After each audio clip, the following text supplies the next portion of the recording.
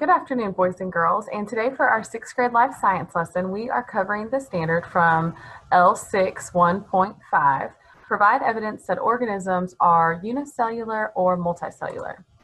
Welcome to my virtual classroom. So what is the difference between unicellular and multicellular? And that's one of the things that we need to quickly identify. All right, organisms are either single cell, that's what unicellular means. They're made up of one single cell.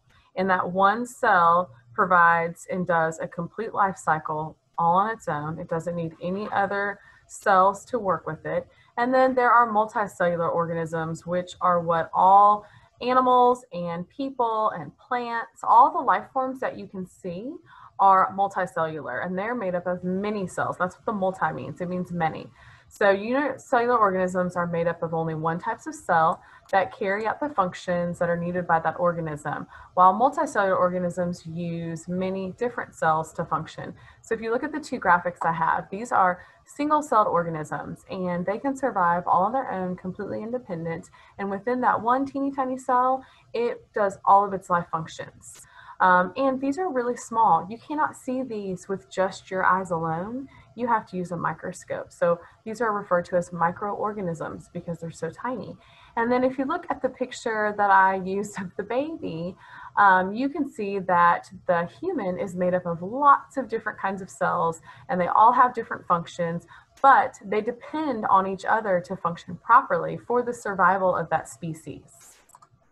All right, so let's talk about a couple of the differences between single-celled organisms and multicellular organisms. So number one, in a single-celled organism, they do not need a, a, designated male or a designated female cell to reproduce. They are able to divide and the offspring are genetically identical to the parents. Um, so that's point number two. And they either um, reproduce by dividing or by budding. Either way, you don't have to have um, parents, like two parents, to reproduce and have offspring. It can all be done within that one single cell. Multicellular organisms, on the other hand, need a male sperm or, well, and a female egg in order for reproduction to take place. The offspring are genetically different from the individual parents. However, they are genetically similar to both parents. And they reproduce by giving birth or they reproduce by laying eggs.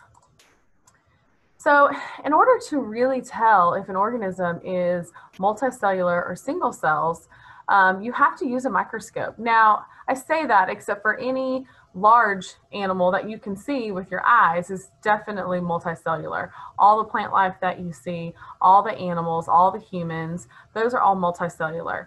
Um, however, if you're looking at a small sample, there can be teeny tiny multicellular organisms, and then all of our single celled organisms or unicellular are microscopic. So you're going to have to use something like what I have pictured here, a microscope, in order to see those. So that is the, the major differences between whether or not an organism is a single celled organism or a multicellular organism. Bye. See you guys next time.